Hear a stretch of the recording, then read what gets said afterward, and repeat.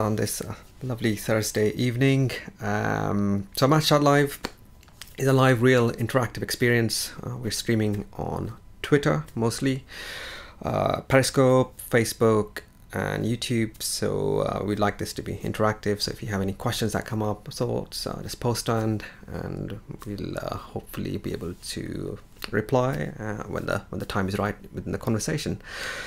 So um, yes, today we have a rather unique experience uh, of a very special part of the curriculum. Uh, both our guests have uh, been in brand new schools and have had the unique opportunity to um, set a curriculum uh, while uh, starting with a completely fresh batch of students uh, who haven't got to the up to the GCSE. So um, and we're looking we'll be looking at this kind of vital early secondary part uh, and how to get things right right from the beginning. So um, so we'll do a quick round of introductions. So I'm Atul, host of Math Chat Live, uh, an online tutor, teach uh, everything from number bonds to A-level maths. Uh, so we'll be off to you, Kat first, and then Sharon.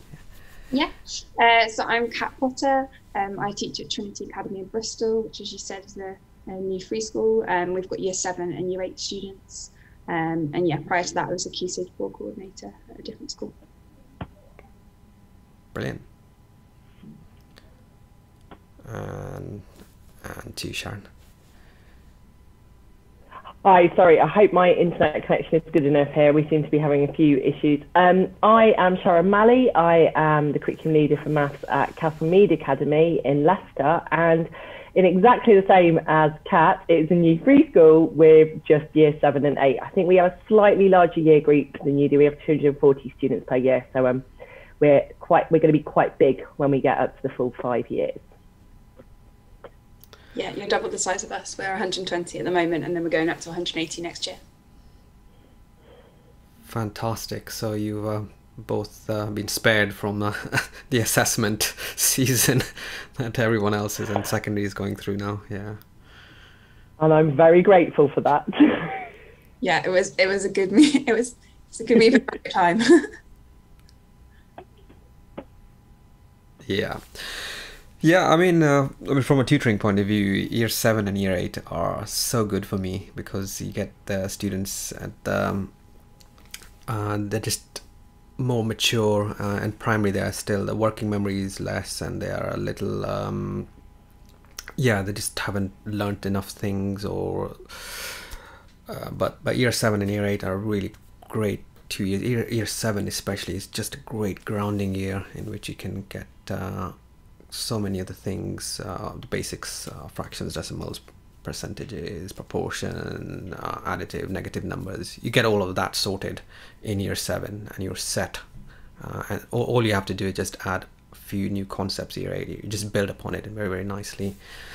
Uh, so yeah, if, if I have, uh, it's one of my absolute favorite years. If someone gets in, asks me for year seven, year eight, I already know I'll be doing this, this, and this, and this, and this, and this. I tell them this, this is great. You've contacted me now, rather than like halfway through year eleven, where I really do have to just teach you the test, and um, you know, um, it's it's it's firefighting basically if, if they haven't got uh, to that point. So, so yeah, brilliant. I'll let you talk about. That's really interesting because I, when I took the role, a lot of people were saying, "Oh, but won't you really miss teaching those higher years?" As if that was where sort of the good stuff started. And actually, I found it incredibly interesting teaching year seven and teaching year eight and looking at where it all starts from rather than just that focus on, oh, you've got to do the hard maths now and the GCSE stuff. And uh, but a lot of teachers seem to not actually like teaching year seven very much. We're quite surprised at people being willing to do it and actually putting themselves in a situation that's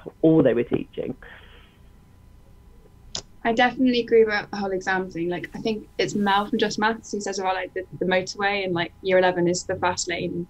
You can't just constantly be doing that every year, just going so crazy. Like, you've got to get it sorted earlier on. So, yeah, I definitely agree. And yeah, I I had the same thing. Loads of people saying to me, oh, you'll hate it, especially last year because I was the only maths teacher and we had mixed attainment. So, I had four classes, year seven classes, and it was just year seven, year seven, year seven, year seven, teaching the same lesson four times a day.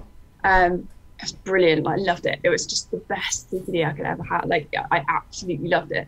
But people were just convinced that when they actually looked at my timetable, they're like, wow. Um, but yeah, it's great. Hmm. And what about if there's a how do you put them in sets if there's an attainment gap and uh, how do you how do you deal with that kind of thing when they come in because they come come to you fresh as a uh, you have to build relationships presumably because they've just just got to you and you have to figure out where they are etc as well. Yeah. I think this is where we're quite different. yeah, well actually, or now we're the same this year because you you started totally mixed ability, didn't you, Kat? Yeah, we we yeah yeah we're in tutor groups and we call it phase one, year seven and year eight. Um, so we just put them in tutor groups. Didn't really have that much idea of prior knowledge, and um, yeah, and I just taught them in those tutor groups. Um, and we're slightly changing when we go into year nine. We will be doing some kind of setting. I need to negotiate with science. What we're going to do from now on is we're going to take and kind of nurture group out the ones who were kind of key stage one level maths and put some more support in for those students, kind of a smaller group. Um, but otherwise, we're sticking to mixed attainment um, in phase one at least, which is year seven and year eight. Yeah, interestingly, when we started in 2019, so our first cohort of year sevens, we went totally setted. It was a whole school decision, and they were setted through all of their subjects using their English, maths, and science scores. So they were still had some mixed ability within the class because if you use the key stage two scores, you still get um, that in there. And then because of COVID, when we've taken on New Year 7 cohort, we've done them all as swarm groups, um, totally mixed ability. And when we were asked what we wanted to do next year, we've decided we prefer Year 7 being mixed ability than we do being setted but that is mostly because we felt it gave much more opportunity to really develop them as a group and set the culture and the type of thinking and not put any limits on anybody and not get any, oh, but I'm only that set, I can't do that, or they're that set and they're much better than we are. And we really liked that coming into secondary and having a level playing field again. Um, that you're all coming in secondary, you all get every opportunity and and we've not put a cap on you at any point. Um, so we we are keep mixed ability for year seven. So. I, um, I think the other thing that I because I've tried mixed ability in other other um, schools and it went from set to mixed ability, which I think is difficult to get right. Mixed attainment, I should say. Um, I think yeah, the things that we had when the things we had um, was we were just told that we were doing it and then like no resources were provided no training it was just happening. And so with no resources it's just impossible. Whereas i think and i'm sure we're going to get onto this later but we both use the white rose scheme of learning and i think those resources work really well for mixed attainment. I think um, i'm not really a big fan of the word mastery but i guess it is that kind of model like staying on something looking at the really small steps really like going into depth with those who who can. Um, yeah I, I, I love it. I think it's brilliant. I, I don't I am. I'm. I'm feeling a bit. It's been a real revelation. Yeah. Same. And I think I think we were fearful of it because of feeling that we weren't going to meet everyone's needs. But you, in a, any class, it's mixed attainment anyway. So you are never meeting everybody's needs. You're just it's a, it's a very different set of needs now where you do have some students that need to be much more independent and need to um, just really apply their knowledge and really reason. And um, you have some students who do need some support. And actually, we have done that nurture group. So a, a certain number of children are removed from the general mixed attainment because they are working at a much lower level. And most of the year seven, we have found absolutely fine delivering mixed attainment until we got to fractions and adding, subtracting fractions. And then we really started to go, oh, I really wish this is the one where we're struggling to be in sets because we went backwards and we looked and they first start adding fractions in year four.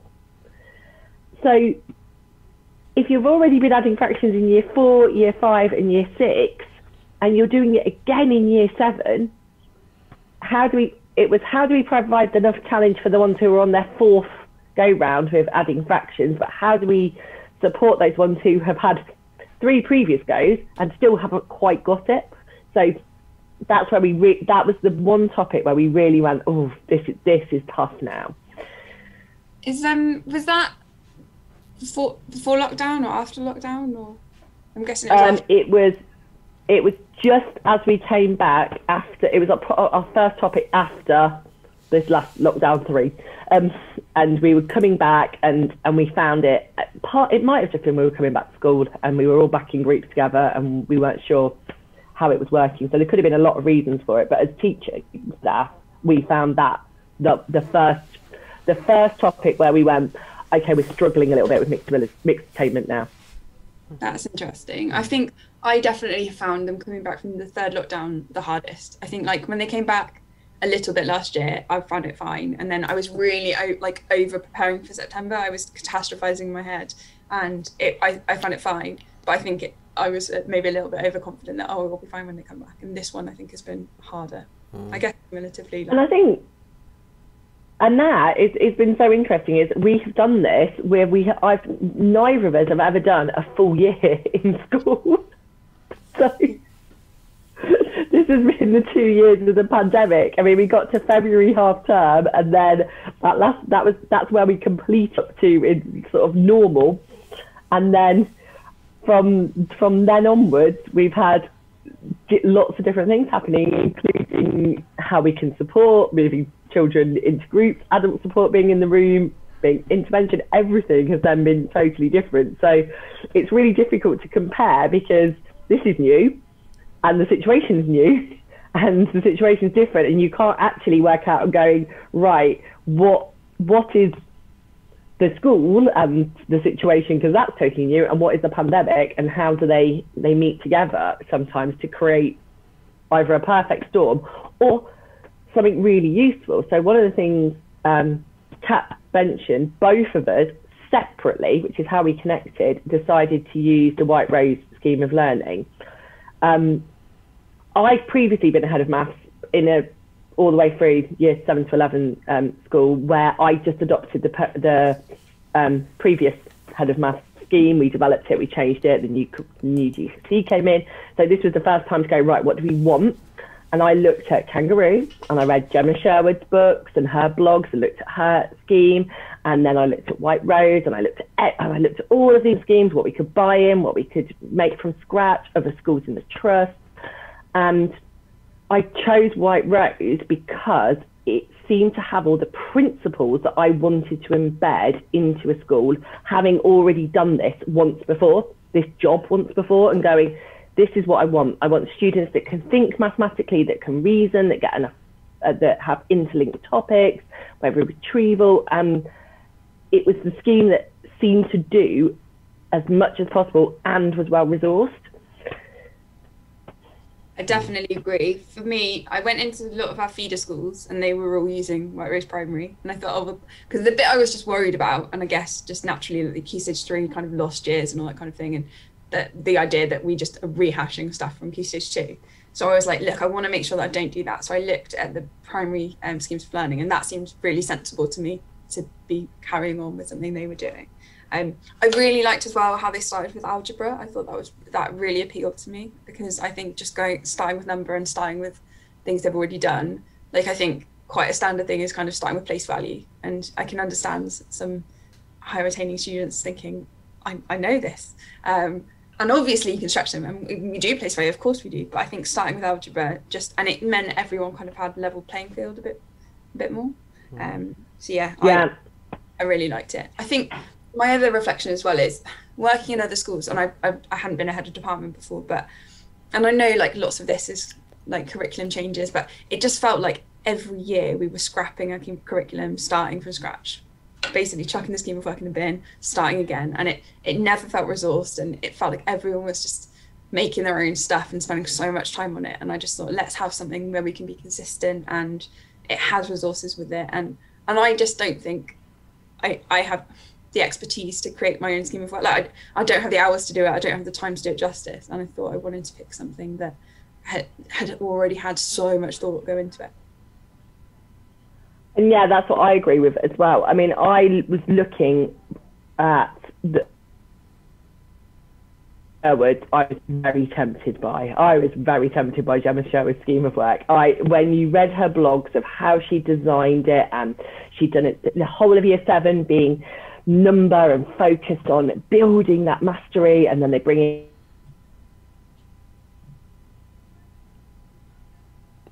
Oh, I think uh, Sean's glitched out. Oh. Cut out now. did I did I go there? Yeah, we can, we um, can do it. We can do a take two. Yeah. Uh, talking about Jemma Sherwood. We can do a take two. I was talking about Jemma Sherwood. Yeah. Um. So I um really, I just really, really loved the amount of thought that she'd put in. And you could see that really, really careful sequencing of building up mastery, getting them really on working on number before you bring in algebra, which then becomes generalized number um, it, her blogs and, and work on that and her book was incredible. Felt it's very similar to Kat. Was I got myself coming into a brand new school where I was learning new routines. How are we going to do it? What we're leading a team. And again, there's no point reinventing a wheel if a really good wheel has already been invented. And so when I went through the White Rose, and I really did fine tooth comb how is this planned? What's the sequence? What are they what are they building on? What are the types of questions we're looking at? Again, I loved the fact it started with algebra. But it's not starting with, oh, you're straight away into solving linear equations. It's starting with generalizing. What is generalized maths? And because I read the reports on the lost years of Key Stage 3, what you don't want to do is just be repeating everything they've already done in year five and year six because you think that they haven't done it well enough. And actually, since we brought in the, uh, the 2014 new curriculum to the primaries, the primaries are doing an amazing job. And the year sixes are doing some incredibly good work. And I know Craig Barton and Jo Morgan have both shared this before. When you compare SATS papers to foundation GCSE or even higher GCSE questions, and the, le- the difference between them is very minimal.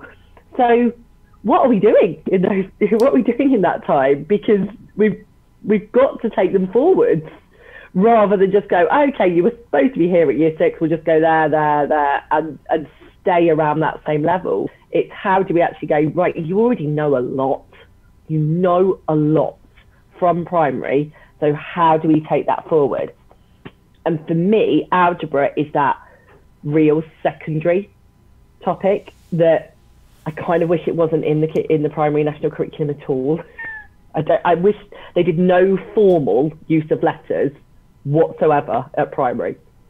Algebraic thinking is problem solving. That's fine, but no no use of um, variables at all at primary would be would be my wish. Just so we got to we got to we got to do that. We got the fun stuff.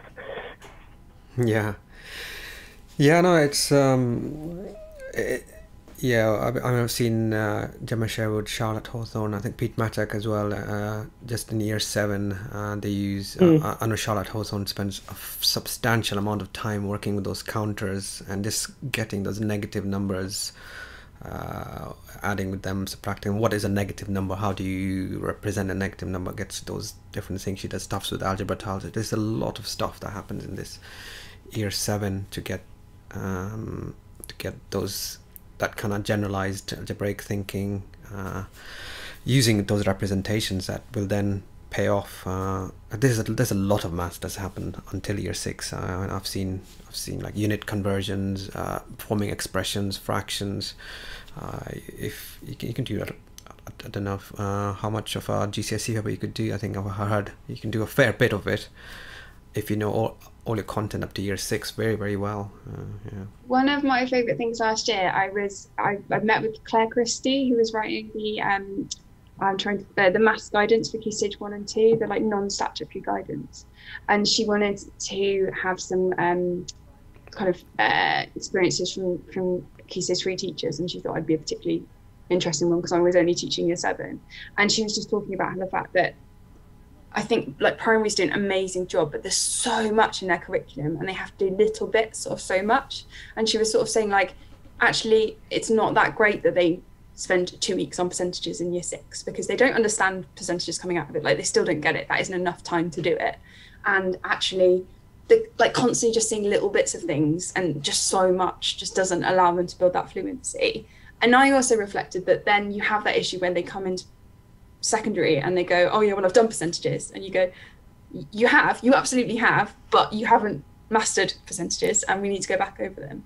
And I just loved, I loved her report. I thought it was amazing. Well, I loved the report that was written with her. Um, uh, just that emphasis on like the real kind of fundamentals just things like she was asking me about some misconceptions and i was just saying students coming in saying like one fifth is 0.5 and she was just like well that's unforgivable like that should have been absolutely so drilled primary that that that just shouldn't happen uh, but she was saying but the reason it is is because there's so much in the primary that they just don't they can't really focus on those kind of fundamentals, um, which I think is what that guidance is is kind of supporting. I really enjoyed talking to her about that.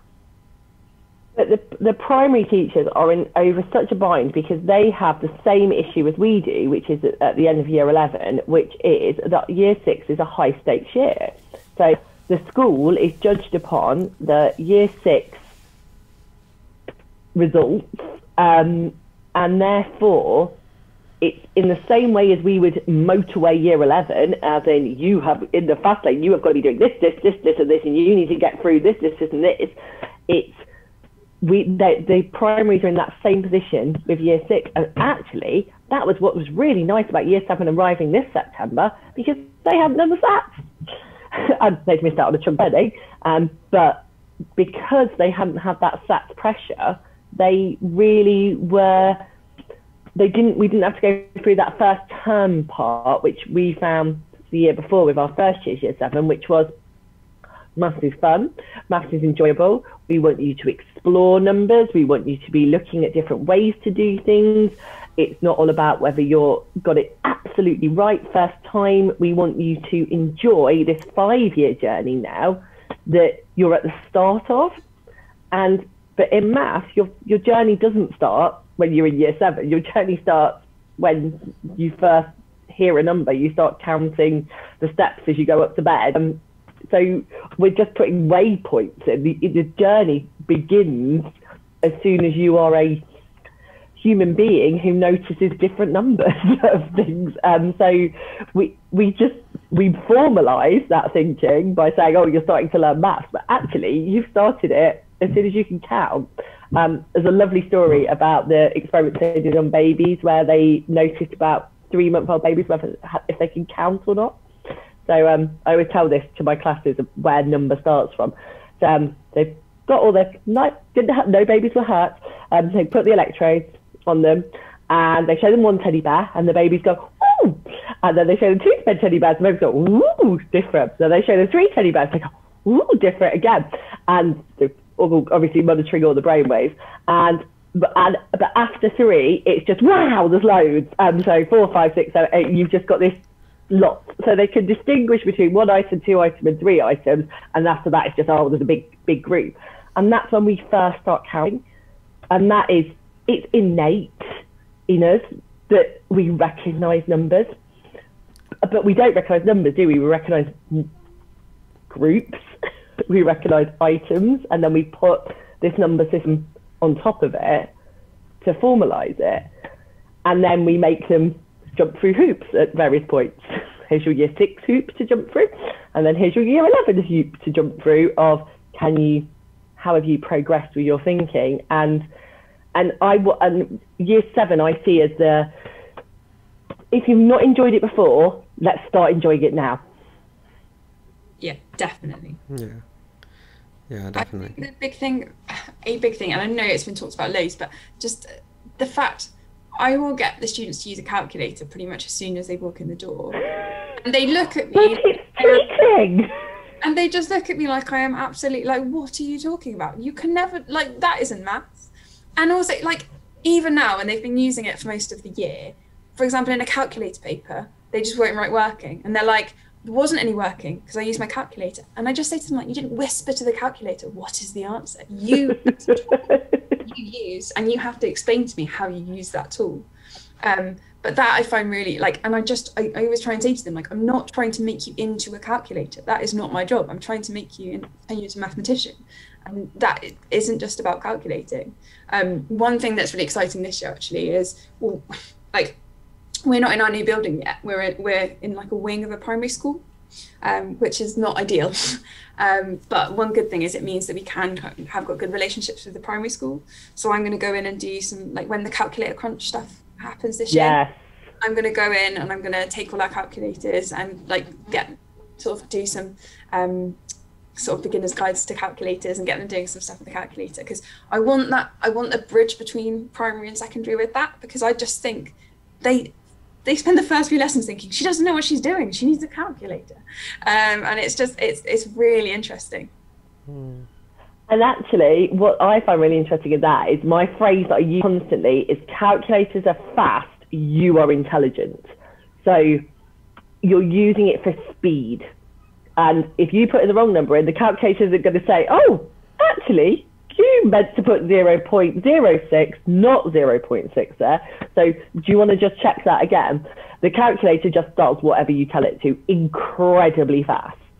But you are intelligent and so you're you're you when we do non-calculator work what we're doing is we're making sure that we're intelligent enough to be able to check whether it's about the right amount, whether it's a bit too big, did we expect it to be that? That estimation skill is really what we want. And and that's when, because I've been doing some work with the NCT, um, with the year five to eight continuity groups, and I've, I've said the same to my year six and um, primary colleagues said, please use calculators, please get them using calculators, please let them seeing calculators, because we can't do that thing anymore of, well, you're not going to be walking around with a calculator in your pocket all the time. Yes, you are. Um, you are. You're constantly going to have access to a calculator. Um, but it's it's learning that it's not cheating. It's speed, and it's it's using it as a scaffold. So we're doing the geometrical thinking topic at the moment. Lots of angle facts, lots of calculations with pie charts. I don't want you to be spending lots and lots of time doing the division and the multiplication with the numbers. I want you to be which numbers to divide and which numbers to multiply so you can actually think about what the operations are you need to use rather than can I divide this, can I multiply this.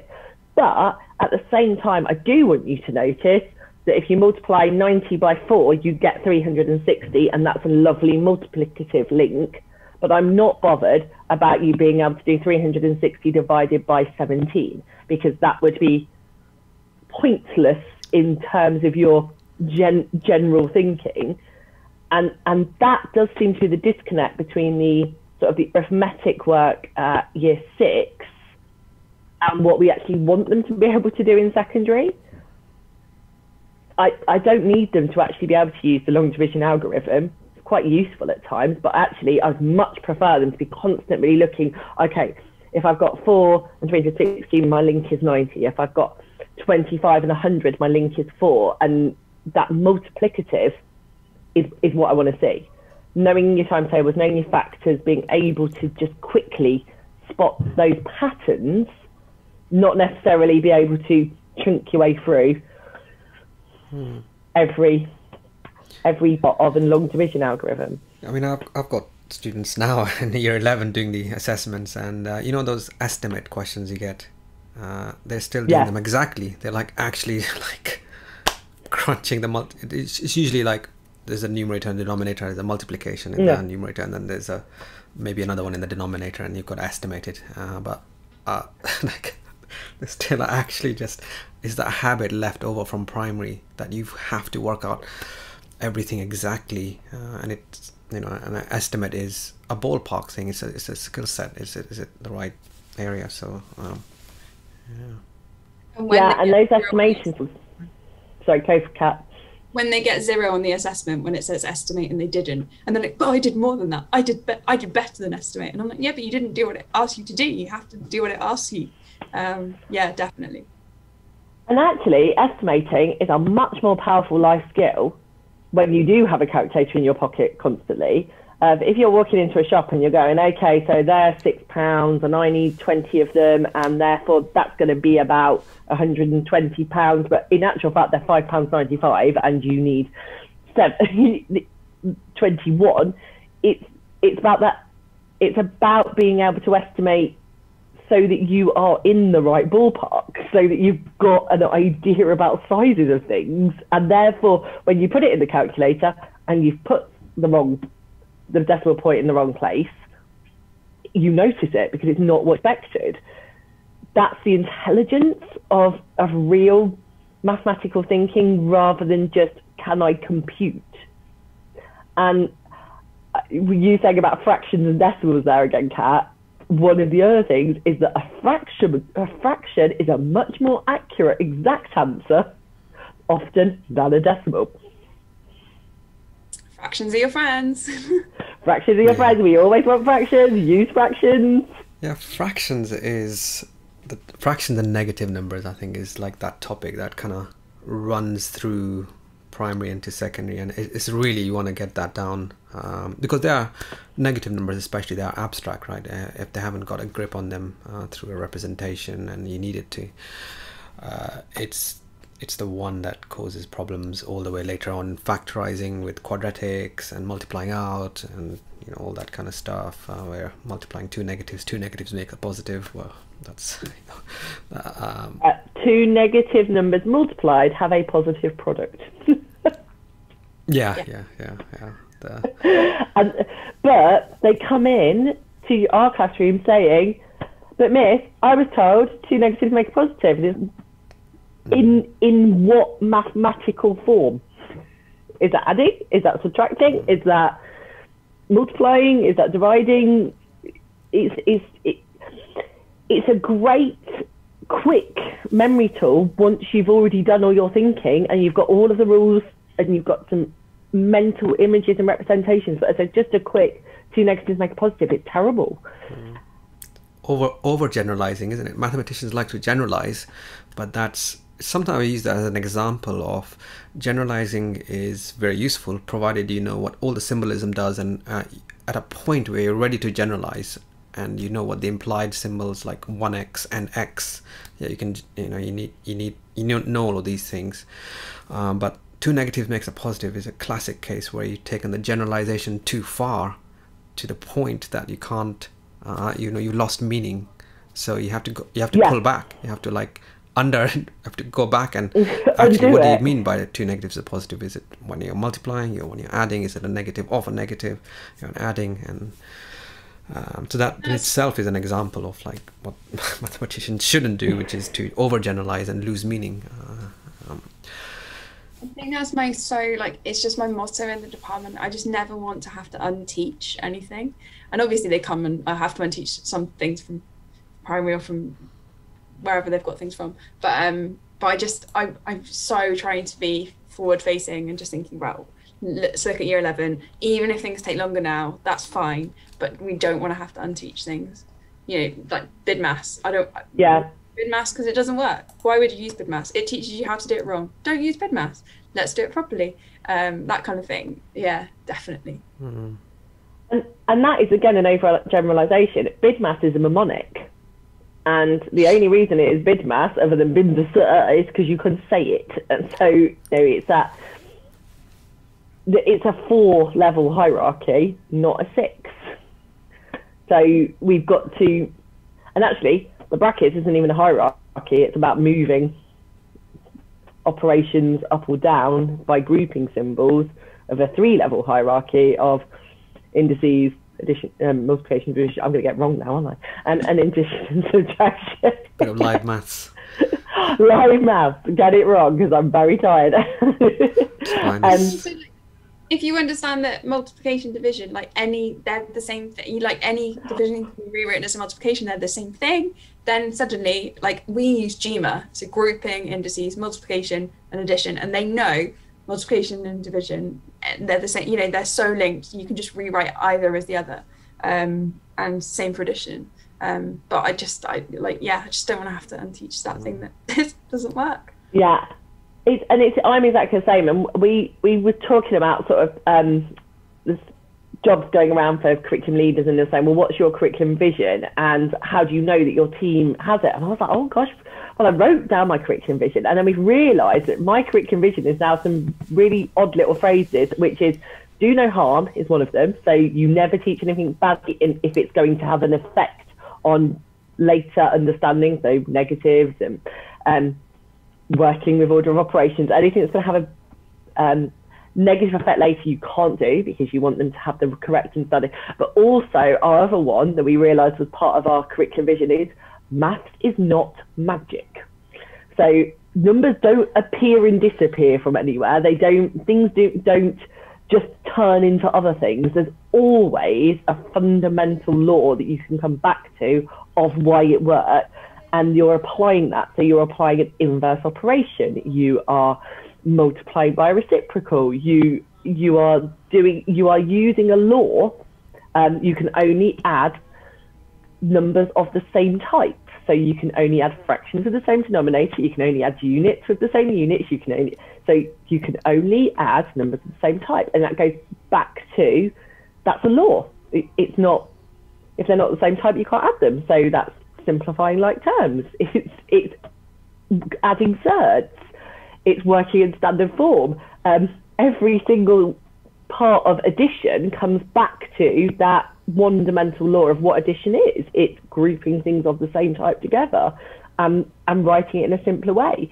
So if if we if we keep that math is not magic, it's not separate tricks that oh well if you see that do this and if you see this do that.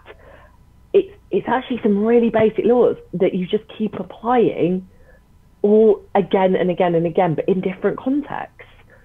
Not um, float and ping. Remember float and ping? Oh float and ping. Oh that's horrific. Um, butterflies for adding fractions. Yes what happens when there's three fractions I don't know, a butterfly with extra wings. Two butterflies, I don't know. Two butterflies. Um, it comes so down to language, doesn't it? And I know that's something you and I both really focus on. Yeah. Just using language correctly. And I still, like, I was watching, you know, the Dani Quinn um, vocab um, session that she did. I was watching that and I still find myself saying, like, they cancel out. And I'm like, no, they don't they add to zero. Like they add to zero or they divide and make one. Like and i just need to make sure that i'm super clear about that because mm. otherwise just like they cancel does is sort of like this magic thing that but if i'm really clear that they add to zero that's why that has disappeared. When i'll use yeah. the field axioms with my primary tutees i'll just pop them up and i say there's actually only just additive stuff to do with addition and then stuff to do with multiplication and division is just multiplying uh, as well, really, and adding and subtracting yeah. with the additive inverse. And then you have the axiom that links them up, which is a distributive one, which you can do.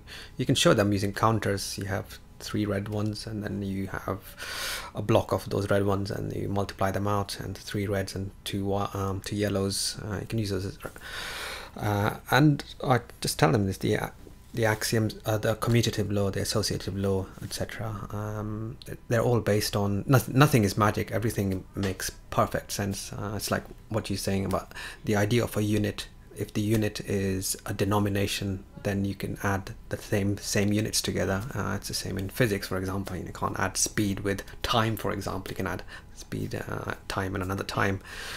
Um, but it's the same idea that they're familiar. Nothing should be a surprise because they are used to the idea of adding. You're just adding a surds of the same uh, same type instead of uh, and then same again with generalizing later on uh, with imaginary numbers. Uh, um, and this also came up in another math chat live is um, the same burden that is on primary teachers is also on secondary teachers when you know when a child asks can you do 5 minus 7 well yes you can. We are not doing that yet but 5 minus 7 is possible Five. uh, it's the same for us. Um, we can have we can have negative square roots. Again um, quadratic equations do have other solutions uh, which are not real. They are complex ones but you'll see them later. But we're not doing them yet. Uh, so you know it's, all, it's always got to be forward facing uh, in all parts of the journey. Yeah. and, it's, and it's very difficult um, and I really I really um, have a lot of sympathy for the primary colleagues because you don't want to be saying, oh, yes, we're going to do five, um, subtract seven if they're not ready for negative numbers yet. But it's that, it's, it's, it's being prepared of how you're going to answer it. Of at the moment, we're always going, at the moment, we are looking at the difference between the larger number and the smaller number. Actually, it's that, it is that language, it's we're looking at the difference. So if you use subtraction is finding the difference, then you are finding the difference between two numbers in a particular order. And actually, you could find the two num- different two numbers in a different order, but you're not looking at that at the moment because you are staying in the positive realm.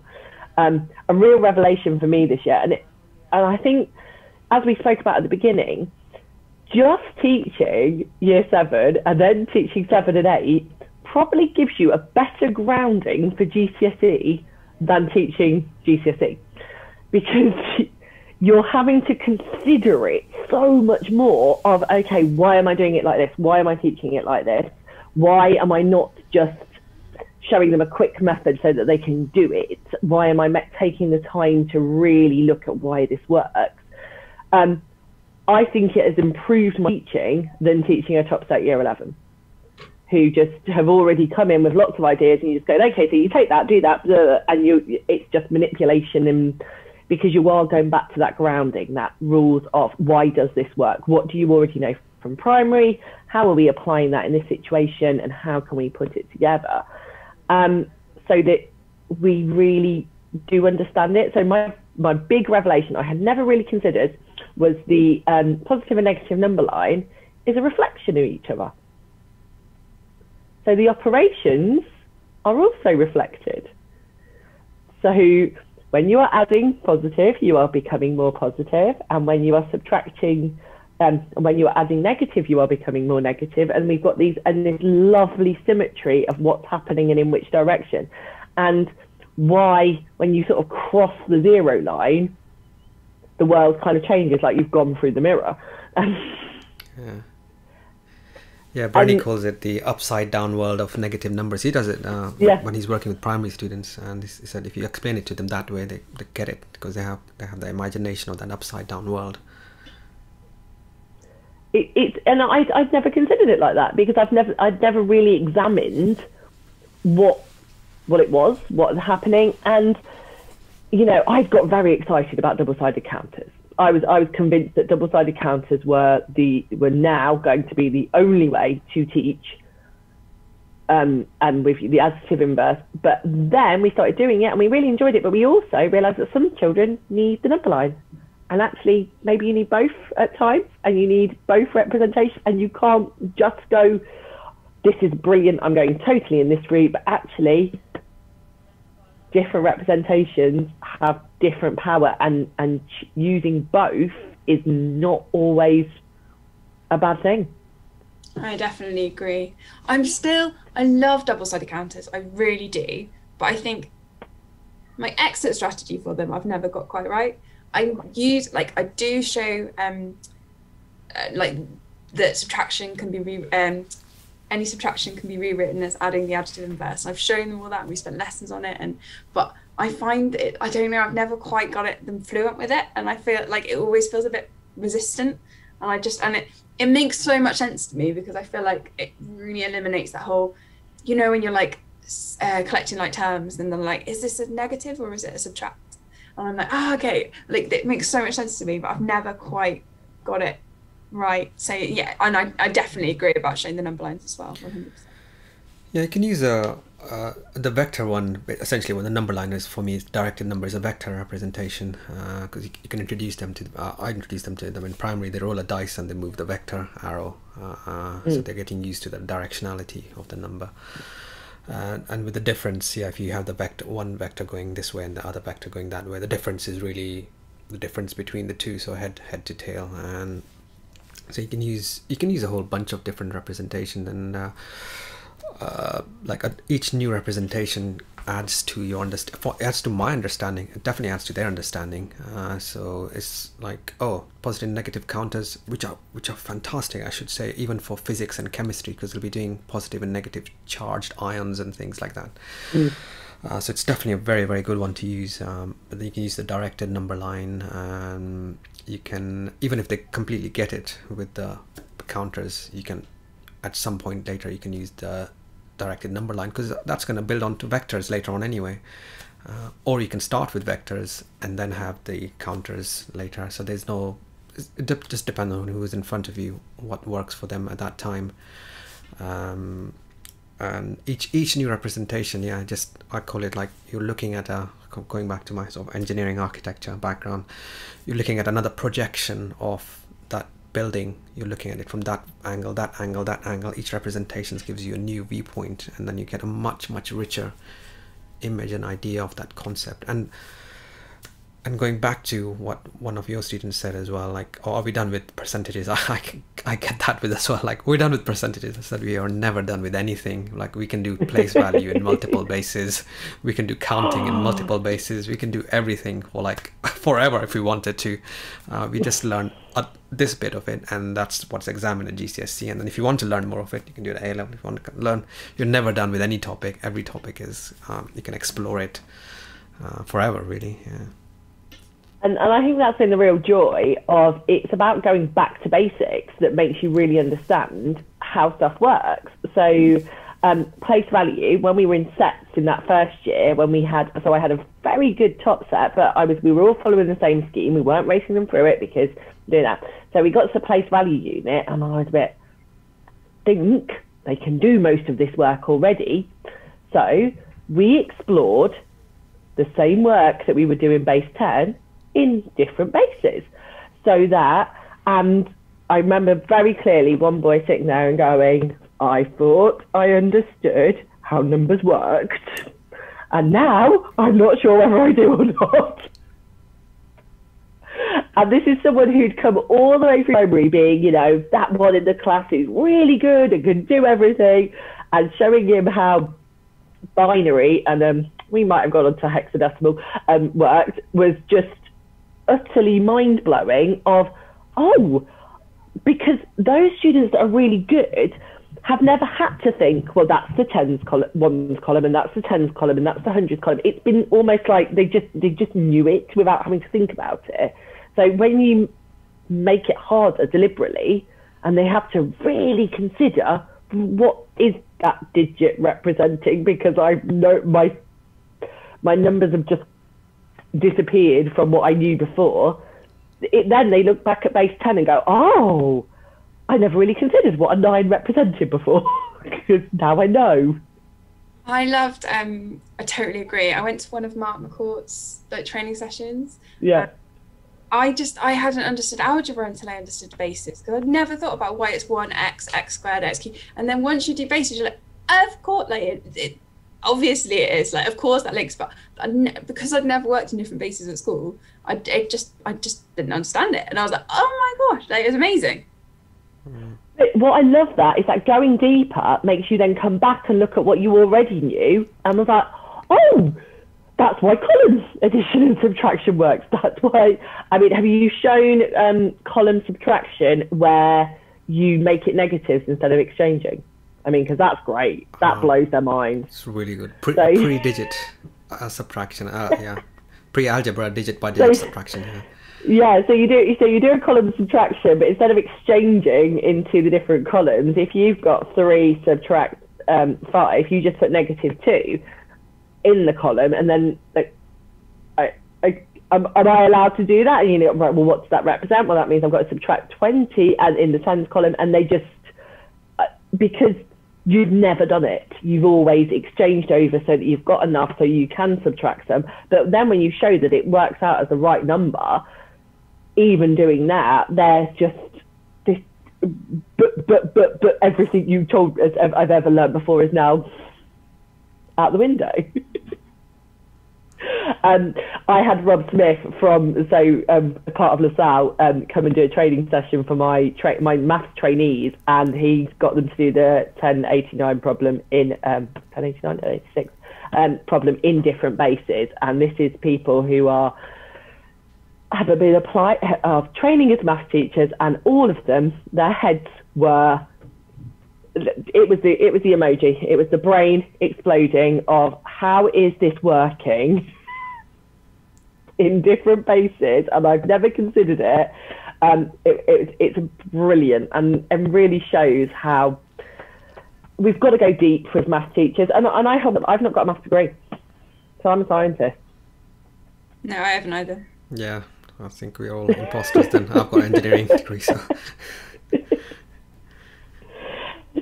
So but does it stop us understanding the maths to the right degree? What I worry about is is my preparation for A level, and I I'd really need to make sure. Um, I've I've got Chris Shaw of um, who's working at Loughborough University at the moment is going to come and do some work for my trainees on A level, and I keep every time I'm thinking I'm like, I feel like when we get up to say year ten, I need to start doing some A level work so that I I'm prepping in that direction as well because I'm now very confident about what's on the primary um, scheme and primary curriculum and how we build up from there.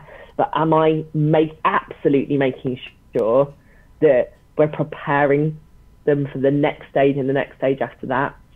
I feel the same because I just my old my last school I didn't teach uh, like my first couple of schools I taught A level, but my last school I didn't, and so I missed all the new curriculum stuff in intervals. So I ha- I haven't taught that before, and I'm like, oh, actually, that's going to be like a really long time. Um, and yeah, I absolutely agree with that. Hmm. You should tune into. We've got another one A level Maths Chat live uh, planned where um, uh, I think Sheena and Mattman are giving a talk about this bridging stage between um, GCSE and A level um, because next year's cohort will have missed stuff as well because of uh, everything. So to get that bridging. It's very similar to this bridging. Essentially, we're talking about as well, right, between primary and secondary. Yeah. So you had that same bridging. Uh, it'd be worth worth tuning into. Um, uh, I mean, no, I have definitely the same um, dilemma as well. Uh, I mean, I teach A level maths, but I don't teach A level further maths. So this is next year will be the first year I'll be doing A level further. So I'm like the same anxiety around. like, you know, we, we all have it at any level. Like if you were going to do go teach degree level maths or prepare them for a degree thing or for an any STEM one. Um, but yeah, the earliest maths is the most fascinating. You know what the, what what is a number? How do you put them into these numbers, digits, and numerals? When Mark McCourt talked about it, it's like I've never thought about it. Like it, no, yeah. it's it's fascinating, isn't it? That that we, what we call a number is actually a numeral or digits, or it, it's not a number. You can't have a number if you haven't got some stuff.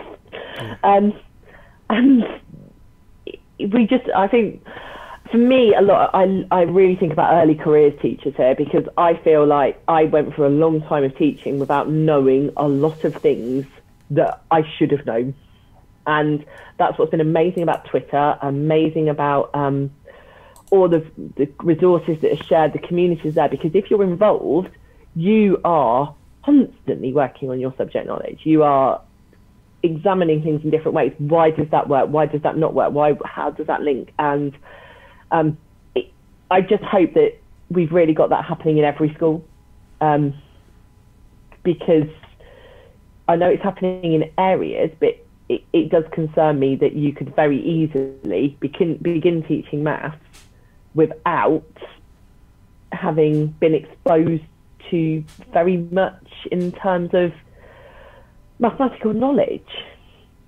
which I think is different. Yeah, I absolutely agree. I think it's why I'm so passionate about the fact that I love how resourced Rose is and how my department is is and is going to be.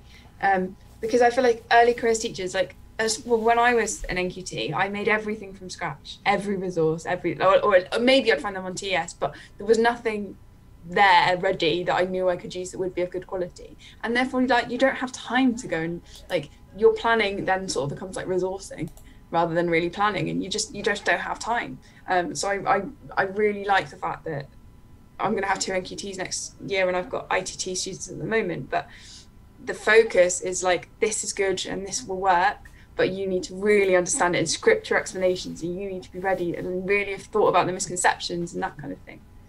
One thing one thing we do as well we have um, i'm leading on it and my school is co-planning and I've really focused on because I think this can go horribly wrong. Because to me, it's one of those things you shouldn't really do as a teacher. I, I, guess I start with like the non-examples of it. I just say like it's not a department meeting, it's not admin, no admin is allowed. It's also I don't know if you guys remember. I, have definitely had times where we had to like co-plan a lesson, and it ended up like one person made one slide, and then the other person made the next slide, and then you put them together and be like, okay, well we've planned together. Um, and so I, I say like it's not that. And I, I often say I don't think co-planning a lesson is the right unit of time because I think you can obsess about the logistics and what am I going to do for the starter. But instead, we do co-planning sessions about either about like tiny little small steps, really, really small things, or about like a whole topic and looking at it in sort of more broadly. But really, I think that co planning is so important. Just thinking about questions, doing maths together, really thinking about what are the key kind of points. It's that choice of it's it's to the point of what numbers are you going to choose to demonstrate this particular issue? Because even white rose as far as good as it is still gets it wrong. Because they put they did a lovely pie chart where three quarters of it was shaded in. And um, and one shade one three quarters grey one quarter white and it was um, the whole represents 300 how what proport how many is how many does is the shaded section represent? Now the issue was that a quarter of 300 is 75 and three quarters were shaded in, which is 75%. So you then have this number 75, which is being used for two very different things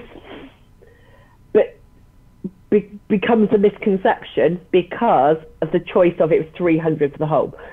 400 for the whole would have been fine. We wouldn't have had any confusion with what the 75 represented. The 75% is the um, proportion of the whole that's in, and the amount is, I can't even work, 300 rather than three quarters of 400, rather than three quarters of 300 is 225 with 75 as that. And it, it really caused some issues because of the choice of number. And until you're doing that live and you go, ooh, we've got a problem here. Why is it that? Why is it not that? That you don't see it. And it, you're always going to have that happen. And it, it was live in the lesson. And, you know, girl put her hand up and went, but isn't it 75%, not three lots of 75? And you've got that issue. So choosing your numbers is, is as important as anything.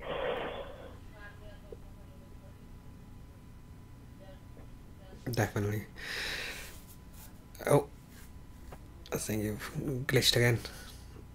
I've lost you. You're back. You're back. Um. Uh, you're back. Okay. Um. Yeah.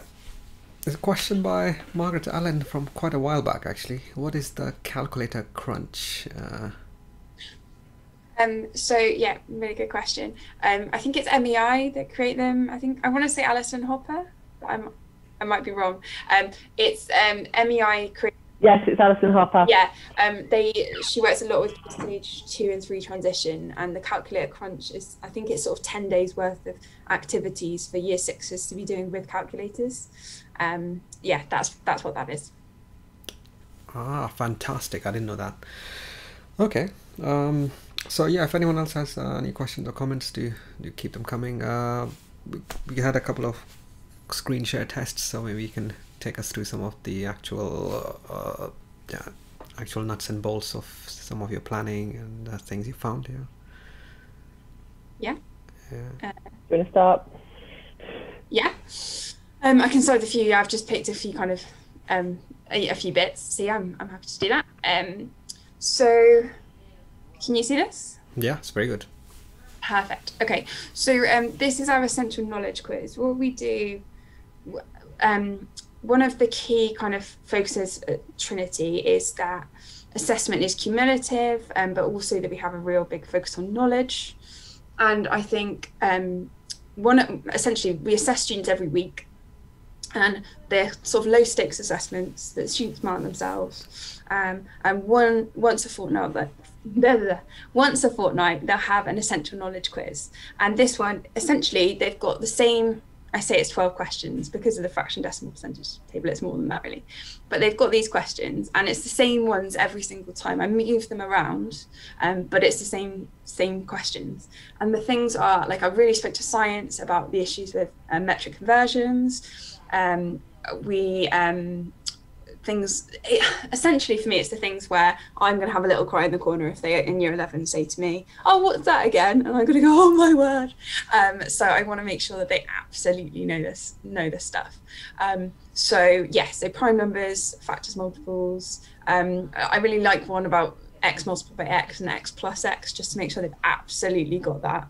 And because it's going to be the exact same questions each time there's not it's not like, oh, I didn't understand it. You know, like it's whatever effort you put into it, hopefully you're going to see some reward. And even even some kind of really low prior attaining students, even if you know they get one and then the next time they get two, that's amazing. To me, it's really focused on we tier our students, and we would we'd say like tier one and the students who really needs extra support. They're probably like below 90 on SATs, really, maybe even like key stage one level, all the way up to tier five, and it's kind of following a normal distribution.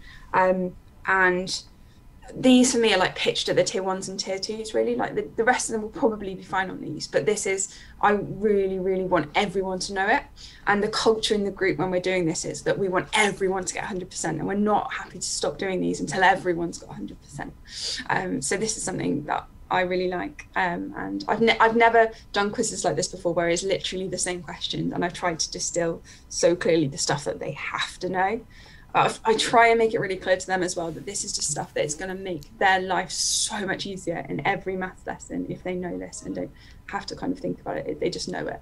Mm-hmm. Um, and then um, I've also got the other, um, so the following week, they'd also have a low stakes quiz which is more kind of a traditional quiz. So what we do is we have some um, keywords or key definitions. We have like the first half is going to be a recap from previous terms. Um, and what I'm trying to do is try and be clever about it. Like if we're about to do solving inequalities, I'll make sure that there's an equation on there so that I can kind of diagnose and know what I need to reteach. And so I also do stuff like every question has a Hegarty clip attached. So we use Hegarty and it just means we will do some class feedback but if students get this wrong then they know absolutely where they can go and it's you know they they can take responsibility for that. And then later on we have kind of the recent topics. Um, so this this is one of the year seven ones. Um, and yeah that's that's kind of how we assess. And then and I will stop talking in a second. And then we'll do some whole class feedback on it. So we did a year eight one where we, there were a few spellings they got wrong a few bits of knowledge that not all of them had. And then straight line graphs they'd forgotten. So we're just going to reteach some of that. And and this is kind of what the feedback will look like. Um, so yeah that's that's a little bit about how we kind of assess and some key knowledge at Trinity. I really like that. I think if I think there's that that's specifying the key knowledge, and it's something that I had planned to do, and COVID has just went, oh, it was on my, and it it just gone right down um, to the bottom, in all honesty. And so I'm going to be emailing you, can go, can I have those? Perfect. It's so easy as well because once you've done it, like it's literally just moving them around. Because like the other yeah. quizzes, when it gets to this, I'm like, oh, okay, I've got to go and write it. But these ones, it's it's just so that one nice and easy. Mm. Um, I noticed you'd put the confidence rating on those questions as well, so on the other quiz, so that you get them to. So I've, I've heard Craig Barton speak about that of putting how confident you are. So how do you use that once they've done it, or is that just for them? So it's it's partly for them. I think what we tend to do is they they do the quiz. It'll take about fifteen minutes. They mark it, and and we definitely sort of mention the confidence ratings and just sort of like oh it's just kind of highlighting the difference between getting something wrong that you're a five on and getting something wrong or getting something correct that you're a zero on. Like they're they're really interesting kind of cases. We probably could do more with them. I find them more useful because what we do with the quizzes is we take them in afterwards, and this is our marking. We don't mark books, but we look at these and we analyse them, and we say, okay, well, where where are the issues? What do we need to do? Which is where this whole class feedback comes in. And I find the confidence ratings really interesting then, um, just to kind of and I'm, I'm not massively like systematic about it, but I look through it, and as I'm looking through, it, it's just really interesting to see who may be overconfident about some areas um, or underconfident. Um, and I, yeah, I'm going to get it wrong now, but like the hypercorrection effect that Craig. Yeah, I was going to just mention that, but yeah, you've got got gone straight into the hypercorrection effect. Yeah. I'm gonna I'm gonna explain it wrong though, so someone else explain it because I'm gonna get it wrong. No, I think it's it's when you've been really confident on something and then you get it wrong, and knowing that you've been really confident on it is gets that hyper correction of oh, and and you learn it better because you.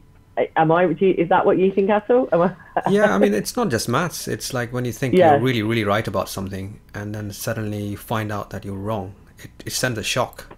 It's like yeah. I, I better find out what the real truth is because it's because you you're more sensitized and alert because you've had that emotional shock that oh my god I got this wrong. I really thought this was this and it's not. Um, so uh, that's that's the word hyper. You get it swings yeah. the other way and then you, you correct uh, as opposed to I kind of had a guess at this a kind of mm-hmm. vague sense of what this is and I've just guessed uh, you, you, you're not as alert to correcting correcting it then uh, as you are from a yeah.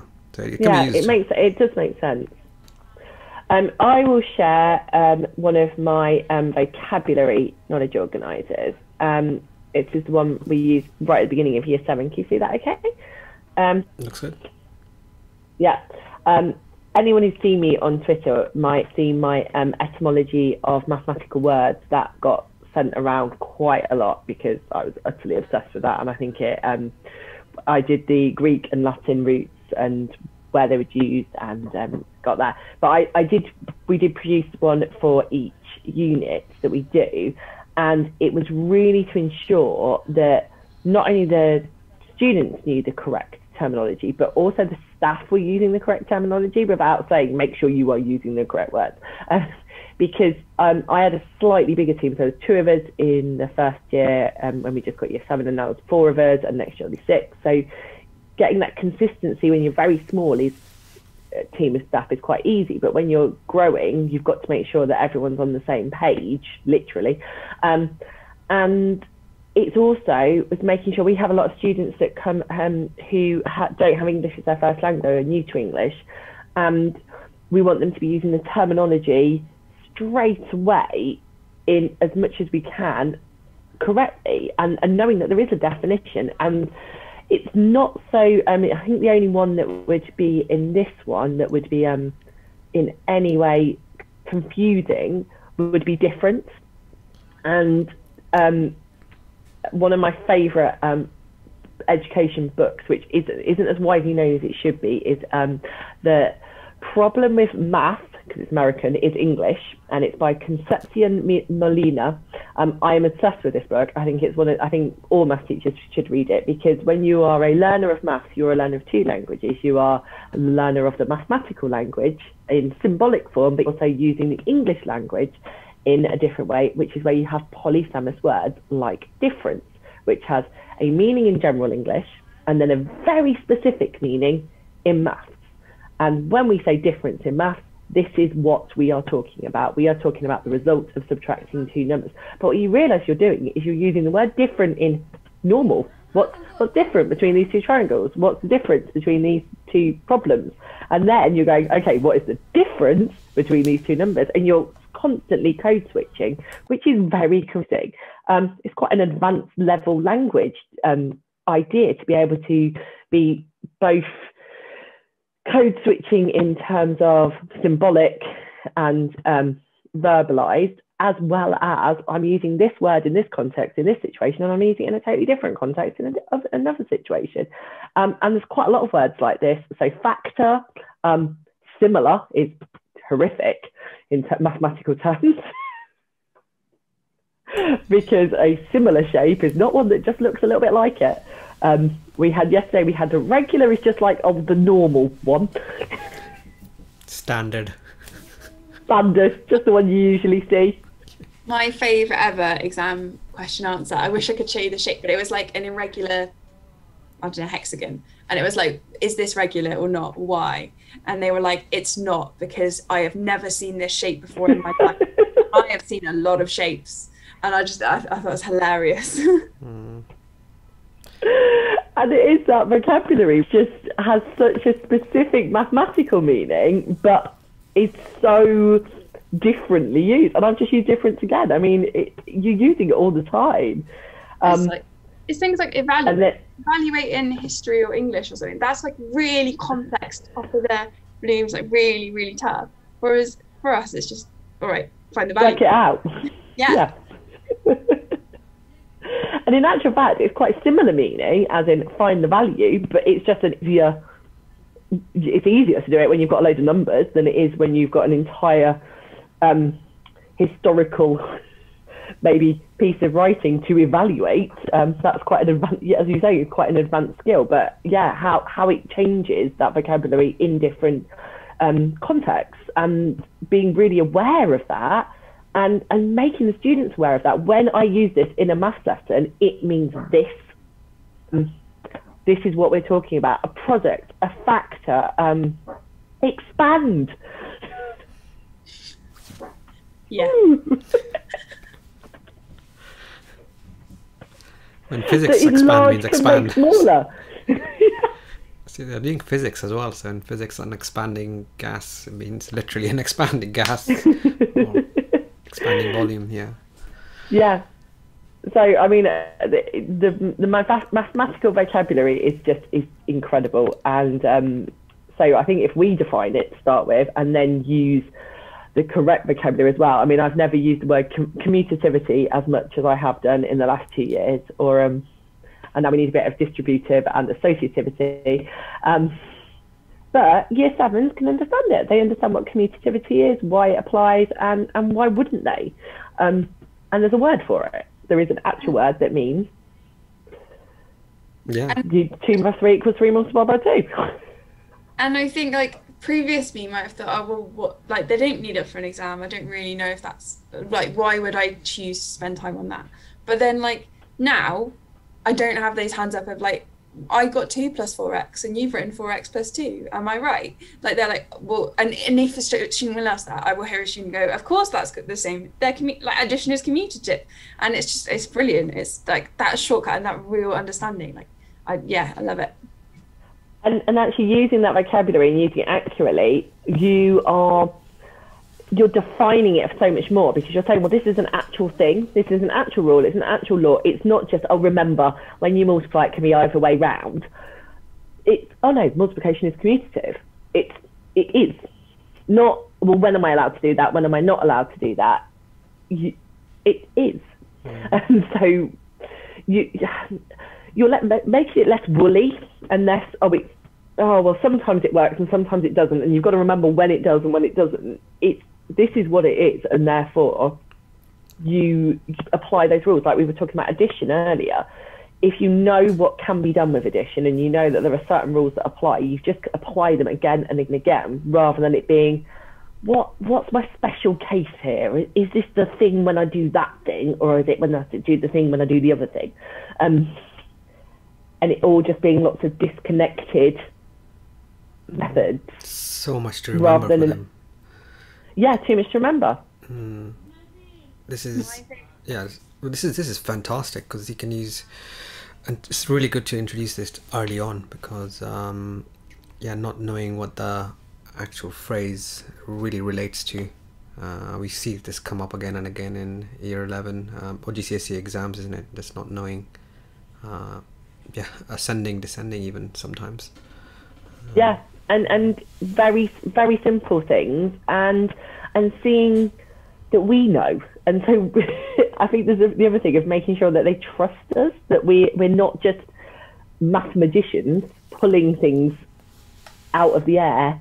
There's there's a body of knowledge which backs it all up that we actually really truly have something that we're using that this is what we want you to know as well. And and when sort of knowledge organisers first got bandied around, I was very much it's a revision guide by any other name. Um, but knowing how to use it and what to use it for and what's useful for your subject. So if I, if I, I see it as I want this knowledge defined, so this is why it's in a knowledge organizer. If it needs to be defined, if I want to teach a method, I'm doing I'm going to use something else. Um, it's not a knowledge organizer. It's about this is these are the rules. Oh, these are this is what this word means, not just the entire GCSE maths in a CGP book. Um, that's something different.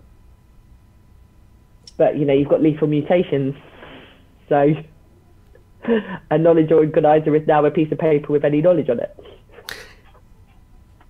yes, another method for another thing for another case, special case. Factorizing this Yeah. in this way, factorizing Yeah. that in this way. Well, factorize just means one the one thing. That's to Yeah. uh, And if you know what factorize means, let's look at how we apply that. And actually, factorize is really difficult when you're talking about whether it's algebraic factorization or numerical factorizing, because of whether you can use. Um, I remember um, Tom Francome and I having a Twitter chat about this of um, when can it when does it have to be a whole number? So when yeah when does it have to be an integer factor? Fractional factor. Um, because you can Yeah, I mean, you can use, uh, well, algebra tiles are great for that, aren't they? If you can just factorize numbers. Yeah. Uh, and within the quadratic, there's the the number bit factorizing as well on the on the bottom right corner. Um, Yeah. So it's a it's a great consistent representation that goes with the the unit, the yellow tile itself, and the x square tiles, and um, so provided they understand the type of factorizing they're doing with the area model, you link it up with the area model. It doesn't really matter if you use numbers or uh, quadratics, etc. Yeah. yeah. No, that's it's t- so true. And and actually, oh, I should stop sharing, shouldn't we? Just we just start staring staring at it now. Um, I forgot it was only on my screen. Um, using factor um, algebra tiles, using oh um, Jonathan Johnny Hall's brilliant new prime factor tiles. Can't wait for that topic to coming up in year seven Yeah, definitely. because that was a lockdown topic before, so we didn't we didn't teach it in in, in the way. So this is like our first opportunity to really get into prime factors, and that is one of my favourite things. Yeah, yeah, yeah. Uh, yeah, it's a really good topic. Yeah, I use that um, animated factorizing dots where they are changing around, and you you group them. I, I get them to group them with the counters first manually. Say, actually, Yeah. here's a video. you can see all of it just popping around. Oh, the the factor conga where it constantly keeps moving into the different shapes as you. I love Yeah. that video. yeah I can I can watch that. Uh, that's you know that's a great representation, and then you have the prime factor tiles when they make the work on uh, Johnny's site. Um, many many ways of doing it, but ultimately it comes down to again just understanding the structure. What is primeness? What is factors? Well, you can put the primeness and the factor together. What what does it mean to multiply? and then how useful it is once you've done that and how you know how many other areas of maths that kind of I always think of it as the DNA of a number once you've got what if you once you went down to its prime factor you can you can see everything That's a really good way of putting it. Yeah, yeah, yeah. The DNA. Definitely pinch that. Mm, yeah, yeah well it is because because you can then find all the other factors of it and you can put them back together in different ways but you you can't go any further than that you've got down basic building blocks. It really links to chemistry as well with sort of your atomic structure and how of molecules that and you can tell that I did science at some point. Um and then it's getting it down to its basic form of well what is it? What is it made up of? And um how and you can't break it down well you can obviously with atoms um, break it down further than that. But you could with um, prime factors going into decimals but we don't. We stay at this sort of pure form yeah. I might have to um, bow out very soon because I have Yeah, um, no, no, no. There's uh, not many, not many questions coming in. Uh, I think everyone's just uh, overwhelmed by marking and assessment. Uh, I was going to say you've got it because we're not doing any tags or tags Yeah, absolutely. yeah. yeah, no, that's uh, that's great. It's a nice, nice kind of place to wrap up. We've seen. Um, so if you have any any of those links to share, that'd be great as well. I can just tag them on onto the back of that tweet. Um, but uh, yeah, we could kind of wrap up there. And so again, thanks for your time. And uh, yeah, year seven, year eight is just such a such a great place to uh, get everything set in place. Uh, that vocabulary thing is is great. You can just bring it back, and those uh, that that same test that you had uh, x times x, x plus x. That's like stock marks. I see students losing them at GCSE, and you can use the same one again and again because you have the forgetting curve. Um, so the uh, spiral review. Uh, there's some there's really great ideas that I've just picked up from just looking at those two two documents alone. Um, fantastic. So the recording will be there. So if, if you have any questions uh, while you're watching the recording, I'll make an audio only version as well. So um, yeah, just post them on this tweet itself or tag tag either any one of us. Um, and um, yeah, we'll be back again next week. So um, I'm gonna stop this uh, live stream and we'll just have a quick debrief and we can can wrap up there. So uh, thanks everyone. Just a, a quick wave for that last uh, last time. Thanks.